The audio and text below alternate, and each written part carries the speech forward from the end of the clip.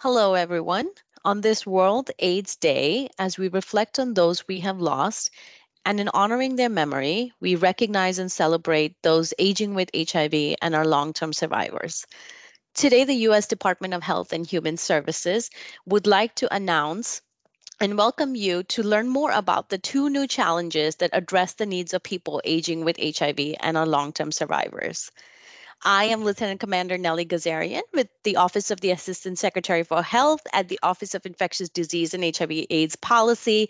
And I'm joined and I'm joined by my colleagues Caroline Talev and Andrea Callow, who will introduce themselves. Caroline?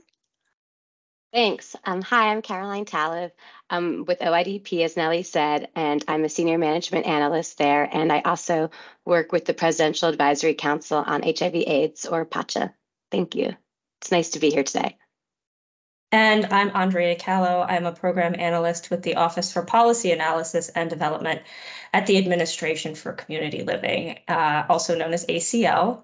Uh, ACL was created uh, uh, around the fundamental principle that older adults and people of all ages with disabilities should be able to live where they choose with the people they choose and with the ability to participate fully in their communities.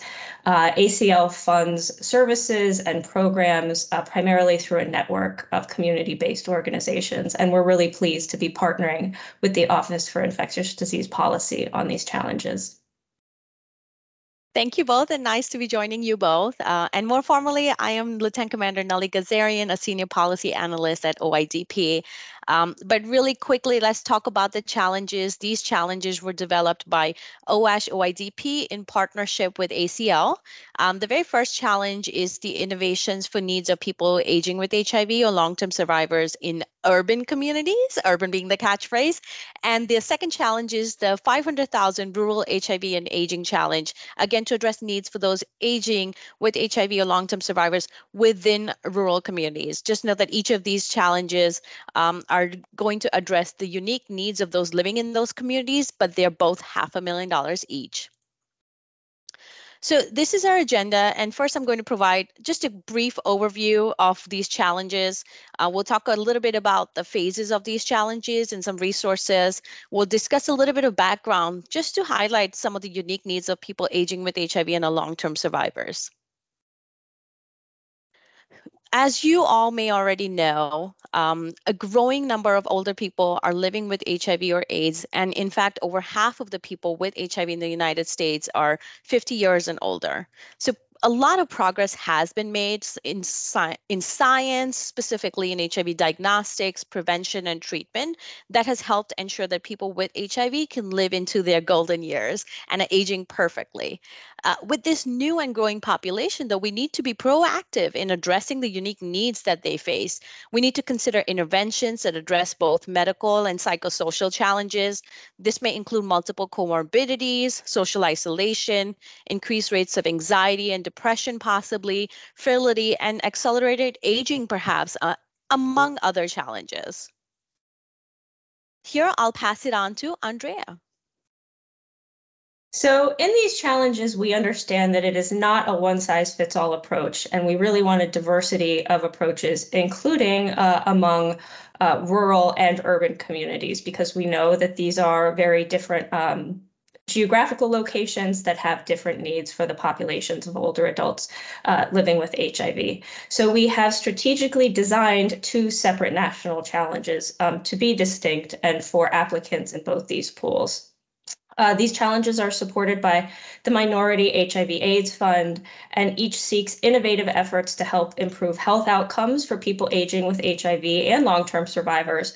And we're really focusing on racial and ethnic minorities and LGBTQ populations who are uh, disproportionately impacted by HIV. And again, in either rural or urban communities, I do want to note that applicants are uh, confined to one or the other. They can apply for both the rural and the urban challenge.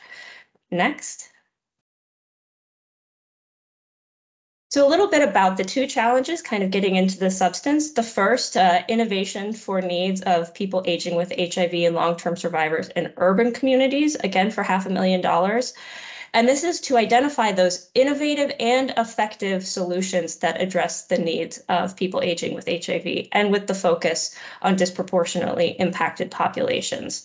Uh, they identify HIV and aging service integration. They reduce social isolation, which we know is a huge issue for those aging with HIV. Uh, improve access to healthcare services, address social determinants of health. These are things like nutrition or access to transportation or housing. Uh, reduce health disparities, again, for marginalized populations like racial and ethnic minorities.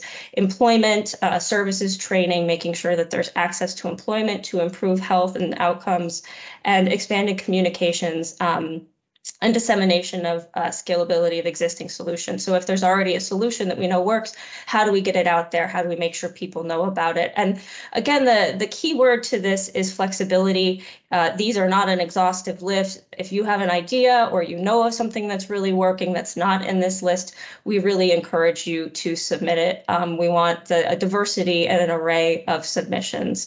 And there's more information again on challenge.gov to kind of go through these and give you more details. And we'll have the links to those in the end. Next slide.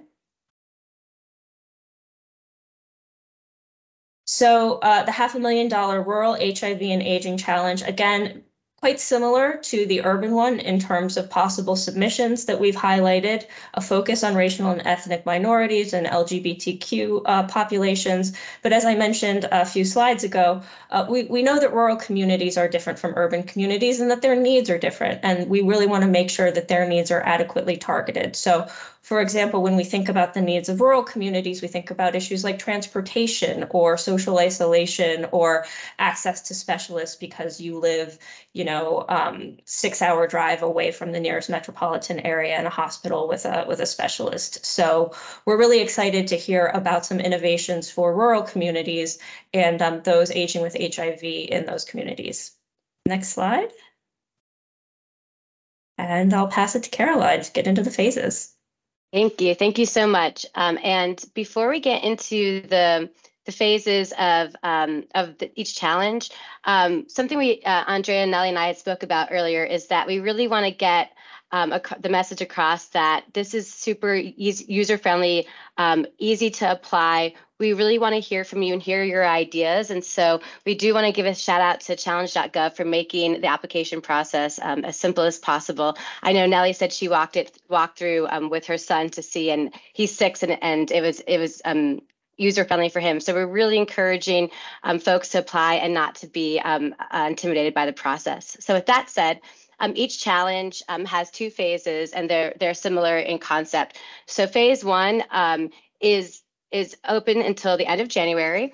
And this is really the design of the concept. This is, we want to hear your ideas um, to develop um, concepts for pilot solutions to address um, the needs of people in either urban or rural communities um, who are aging with HIV or long-term um, um, survivors.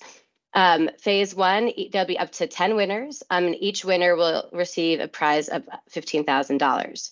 Um, to apply for phase one, two, you just go to challenge.gov and the template's there for you.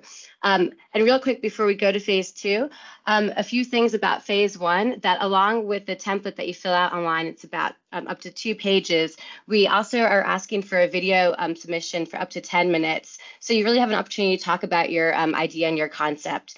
Um, and then for phase two, um, to apply for phase two or to be a contender for phase two, you must um, be one of the 10 winners from phase one. Um, and then this is where we really build on your concept and develop the solution, um, development of the solution and for small scale um, testing. And for phase two, there'll be up to five winners. Um, each will receive a prize of up to $70,000. Uh, next slide, please. Um, so for this, while you're beginning to think of your phase one ideas, we really wanted to provide some um, resources for you, um, have available on, on hand here. So as you're thinking and as you're um, submitting your applications, please refer to these um, links um, for any um, help or ideas. Um, as you start preparing your applications or working on your submissions, if you have any questions or comments or concerns, please feel free to um, email, email us at hiv at agingchallenge at hhs.gov anytime. And again, thank you so much for your time, and I'll turn it back over to Nellie. Again, thank you, everyone. And I just want to take a moment to thank our awesome director, Kaye Hayes, who's the Deputy Assistant Secretary for Infectious Disease and Director at OIDP, and Edwin Walker as well, who's the Deputy Assistant Secretary for Aging at ACL, for the ongoing leadership and support with these challenges and just simply being awesome. Again, thank you, everyone. And thank you to my colleagues. And we hope to uh, receive your applications and hear from you.